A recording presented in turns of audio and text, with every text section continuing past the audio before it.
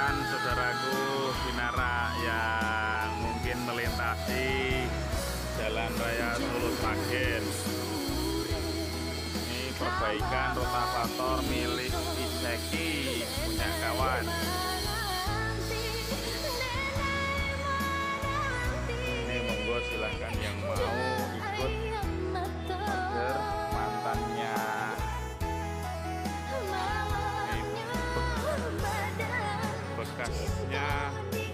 kombet mau dibikin rotavator bekas kombet dibikin rotavator silahkan yang mau ngantri.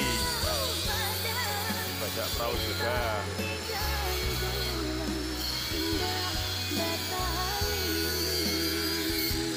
Ngantri kombin dirubah menjadi rotavator ini angkut sawitnya nunggu jemputan ini sudah mulai dikerjakan untuk proses dijadikan rotavator monggo silahkan sing kagungan kombin dongkrok direhab saged.